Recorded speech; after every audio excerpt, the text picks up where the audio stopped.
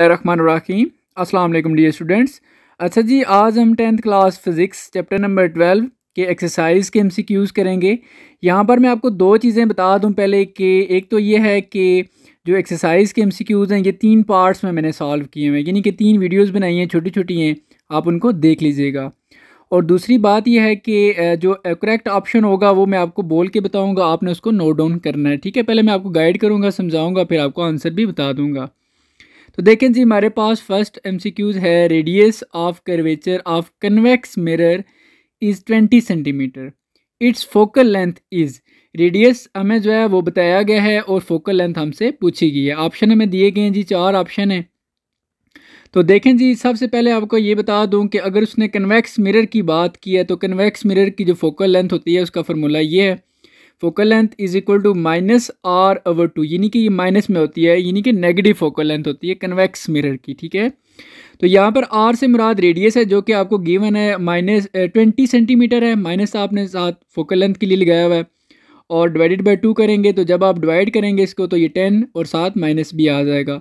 तो इस तरह आपका जो करेक्ट ऑप्शन बन रहा है वो यहाँ पर सी है, जो कि माइनस टेन सेंटीमीटर है।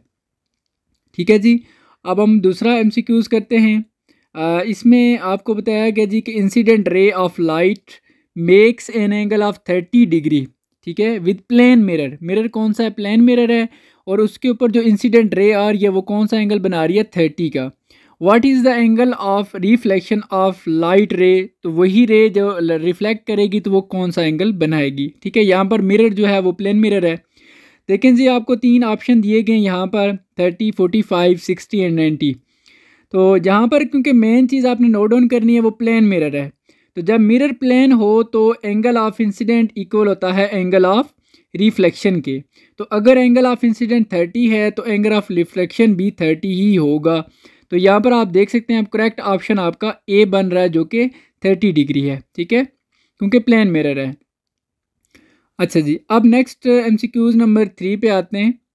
और ये है जी focal length of concave lens is ठीक है? कनकेव लेंस की यहाँ पर ये बात माइंड में रखनी है, ये लेंस है, ठीक है? कनकेव लेंस की फोकल लेंथ क्या होती है?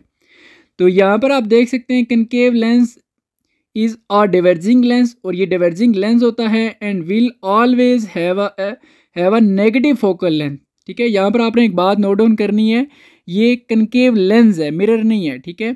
तो जो कनकेव लेंस होता है, इसकी जो फोकल लेंथ होती है, वो नेगेटिव होती है और इसको डाइवर्जिंग लेंस भी बोलते हैं।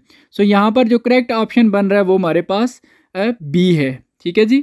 तो ये इसका पार्ट कंप्लीट हो जाता है, इंशाल्लाह जो नेक्स्ट पार्ट है, वो भी आपको मिल जाएँगे इसी वीडियो के एंड पे। अपना बहुत सारा ख्याल रखिएगा, अल्लाह हाफिज़।